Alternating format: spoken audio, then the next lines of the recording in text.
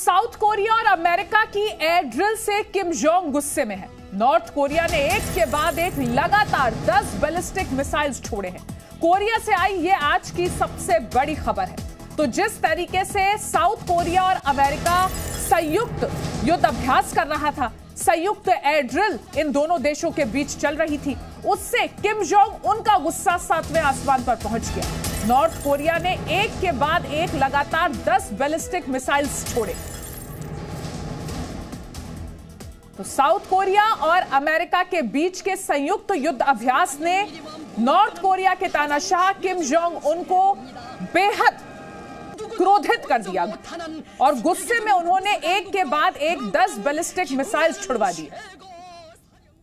तो ये तस्वीरों में आप देख सकते हैं किम जोंग खुद मिसाइल परीक्षण की निगरानी कर रहे हैं। नॉर्थ कोरिया की एक मिसाइल दक्षिण कोरिया में जाकर गिरी, जिसके बाद दक्षिण कोरिया में हवाई हमले का अलर्ट जारी किया गया है।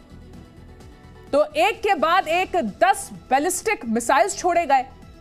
किम जोंग उन ने खुद इन मिसाइल्स का परीक्षण किया। दस बैलिस्टिक मिसाइल छोड़े गए। नॉर्थ कोरिया का यह मिसाइल परीक्षण, आप देख सकते हैं, एक तरफ़ अपनी टीवी स्क्रीन पर और अमेरिका और दक्षिण कोरिया की जो ज्वाइंट एयर ड्रिल है, उसकी तस्वीरें भी हम आपको दिखा रहे हैं।